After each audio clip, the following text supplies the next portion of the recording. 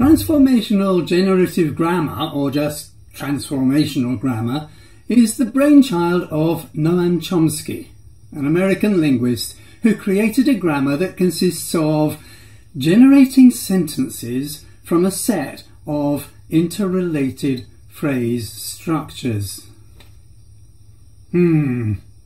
That probably sounds difficult, and uh, yes, it is often represented in diagrams that look like this. But I'm going to be using diagrams that look more like this.